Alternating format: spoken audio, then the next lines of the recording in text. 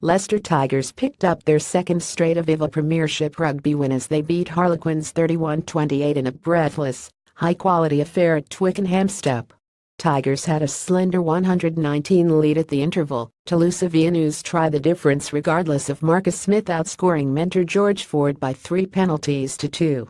And despite tries for Danny Care, Matt Luamanu and Alofa Alofa in a furious second half, Jonny May and Greg Bateman also scored for Leicester, with two more Ford penalties sealing a narrow away triumph.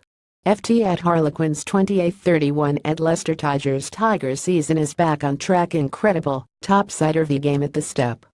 Aviva Prem Harvley pick.twitter.comqlgo2npzzz Premiership Rugby at Prem Rugby September 23, 2017 The hosts started off on the front foot, building the phases, before winning a penalty right in front of the posts for Smith to slot through but Ford produced a swift response from the TS Tigers won a scrum penalty.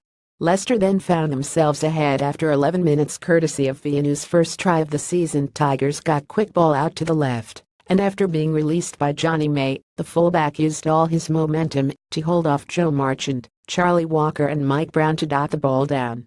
Ford missed the touchline conversion attempt, and over the next quarter of an hour Smith's boot edged Quins ahead once more, the young no point 10 making no mistake with two routine penalties. Despite the hosts coming close to a score, when Smith intercepted a loose Ben Youngs' pass deep in the Leicester half, he could not offload to Chris Robshaw before being tackled into touch by Veainu. And it was Tigers who went into the break ahead with another penalty after Rob Buchanan was pinched for not rolling away but Care's quick thinking resulted in a tap-and-go score under the posts after Alofa made ground off the back of scrum and Ellis Genge conceded a penalty. Moments later more Quins pressure and defense forced the mistake from Veainu, and Marland Yarde's perfect offload to Luamanu saw the no.8 rumble over in the right corner. O match shot Harlequins scored two quick tries out of the break Coik Harvley pick.twitter.com0PL3SOBGA8 Harlequins I at Harlequins September 23, 2017 Tigers now trail 21-11, but fought fire with fire after Sinbins for Ellis Genge and Will Collier from the same scrum opened up some space. May was the first beneficiary as he scored a 52-minute try made by Matt Toomua, before Ford's flat pass to Bateman allowed the replacement prop to dance through the Quins defense five minutes later and put Leicester ahead.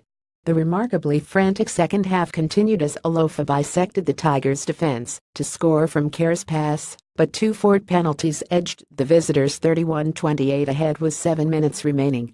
Leicester threw the kitchen sink at the hosts' line in search for a bonus point try, but while Dom Barrow just knocked down from close range, Quins could not get the ball up the other end for a match-winning score. All right Tigers family, you can breathe out now. Wow, what intense finish it was to that match. Harvley, Leicester Tigers at Leicester Tigers September 23, 2017.